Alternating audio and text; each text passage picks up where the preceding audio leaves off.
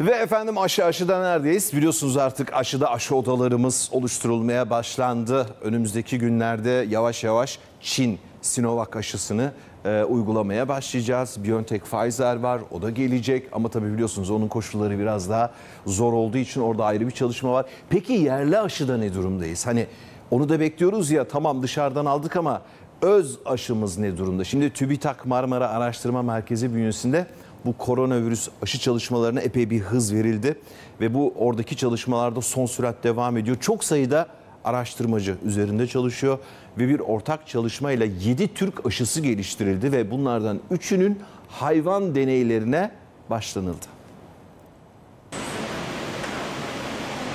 Üniversiteler, ilaç şirketleri, onlarca kuruluş bir araya geldi. Yüzlerce araştırmacının ortak çalışmasıyla 7 aşı geliştirildi. Türkiye'de koronavirüse karşı aşı çalışmaları sürüyor. TÜBİTAK Marmara Araştırma Merkezi çatısı altında 49 kuruluş ve 436 araştırmacı ortak çalışma gerçekleştirdi. 7 aşıdan 3'ünde hayvan deneyleri de tamamlandı. Pilot üretim çalışmaları ise devam ediyor. Klinik çalışmaların onaylarına yönelik başvuru da yapıldı.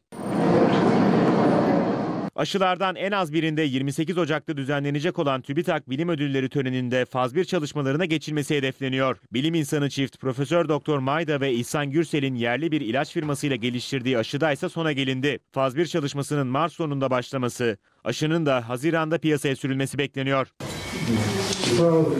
Hayırlı olsun.